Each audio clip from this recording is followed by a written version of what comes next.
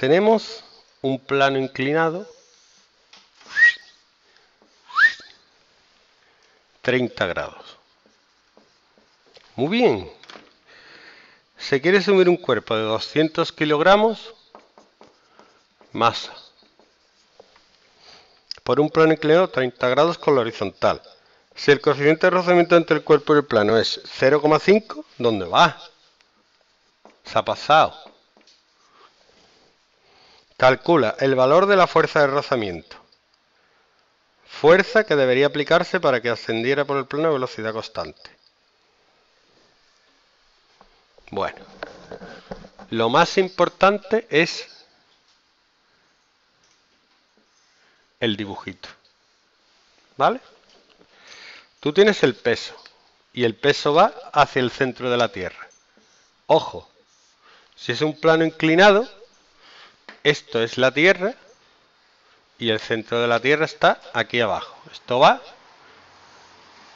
para abajo.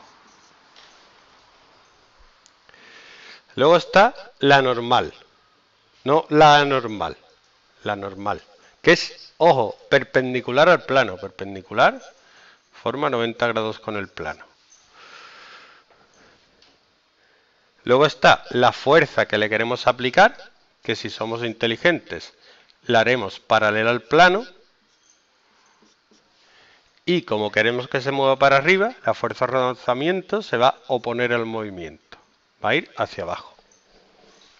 Y ahora, lo más curioso de estos problemas es dónde tienes que poner el sistema de referencia. ¿Mm? El sistema de referencia se pone aquí. No horizontal al suelo, sino centrado en el cuerpo. ¿Vale? Y aquí tenemos el primer quebranto.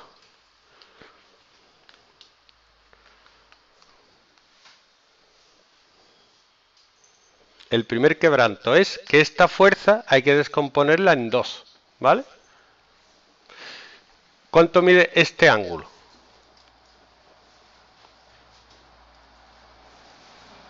¿Eh? No, eh, este. El que forma el peso con la perpendicular del plano. Pues mide lo mismo que este. Este y este son iguales. Por semejanza tienen que ser iguales. Porque esto lo has girado 30. Si pusiera esto en el plano y pues empezaras a girarlo, esto vale lo mismo que esto.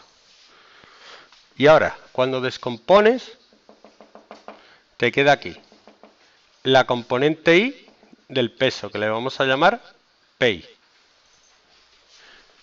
Y la componente X, que tira hacia abajo, que le vamos a llamar PX. Voy a dibujarlo aquí un poquito más chulamente.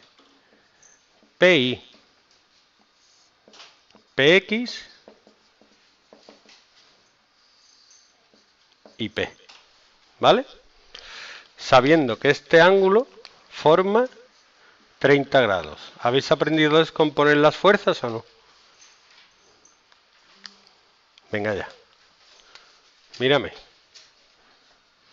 La voy a poner de pie. A ver. Sería PX, PI, P y esto es 30. ¿Vale? A ver, voy a hacer el seno de 30 en este triángulo. El seno de 30 sería cateto opuesto, que es PX, que mide lo mismo que esto, PX partido de la hipotenusa, que es P.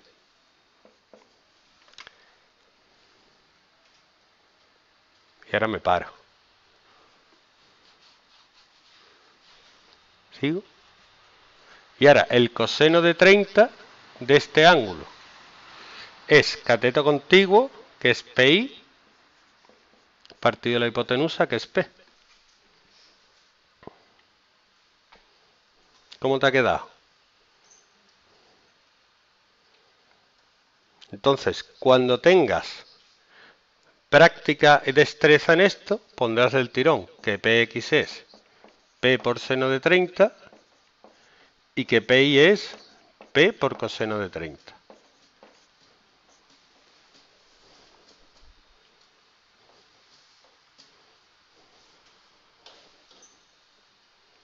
¿Puedo borrar esta parte? Y ahora, ahora viene lo chulo. Eh, segunda ley de Newton, sumatorio de fuerza igual a masa por aceleración, pero en los dos ejes. En el eje X, que es este, y en el eje Y, que es este. En el eje Y tenemos que la normal que va hacia arriba menos el peso, la componente Y que va hacia abajo, tiene que ser cero. ¿Por qué? Porque la aceleración en este eje es cero, ni salta ni rompe el material. Aquí, en el eje Y no se mueve. Se mueve en el eje X, pero en el eje Y no se mueve. Entonces la aceleración en Y es cero. Y en el eje X tenemos la fuerza que le queremos dar menos la componente X del peso que tira para abajo y la componente, digo, la fuerza de rozamiento que también tira para abajo. Y si me dicen que lo quiero subir con una aceleración constante, ¿cuál es la velocidad? Digo, una aceleración constante. Con una velocidad constante, ¿cuál es la aceleración? Si la velocidad es constante, ¿cuál es la aceleración?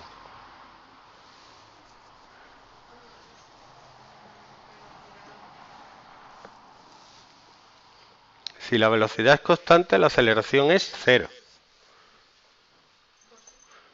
Velocidad constante es que no cambia. Si no cambia la velocidad, la aceleración es cero.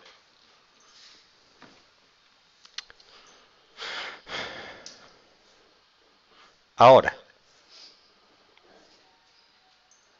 ¿qué puedo ir haciendo? Puedo ir despejando la n de aquí. n sería pi y pi es p por coseno de 30. Es decir, que la normal sería la masa por la gravedad por el coseno del ángulo. Yo pondría alfa, porque a los físicos es que no les gusta poner números hasta el final. Y luego aquí, la fuerza, que es la que quiero calcular, menos el peso en X, que es m por g, por seno de 30, menos, ya no me cabe, la fuerza de rozamiento, ¿Cuál es la fórmula de la fuerza de rozamiento? ¿Mm? Muy bien. No, no, mu por n. Mu por m por g, has dicho tú. No siempre, aquí no es así. Aquí es mu por n, m por g, ojo cuidado, coseno de 30. Y eso tiene que ser igual a 0. Si está en horizontal, si es mu por m por g. Pero aquí es n ya no es directamente m por g. Entonces yo con esta formulita, que la voy a poner aquí otra vez, f menos m por g por seno de 30 menos mu por m por g por coseno de 30 igual a 0. Y de aquí puedo despejar la fuerza, que sería, te piden en el ejercicio la fuerza de rozamiento, la fuerza de rozamiento sería esta, ¿vale? Me quedaría que la fuerza es m por g por seno de 30 más mu por m por g por coseno de 30. Y hasta el final, no lo cambio por número, sería 200 por 9,8 por seno de 30 más 0,5 por 200 por 9,8 por coseno de 30.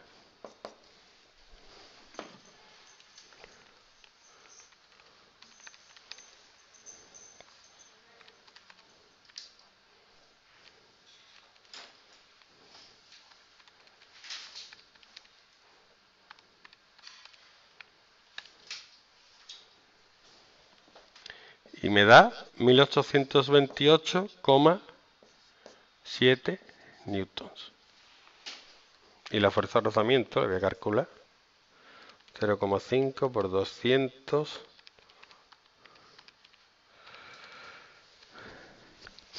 Esto da 848. Que una barbaridad.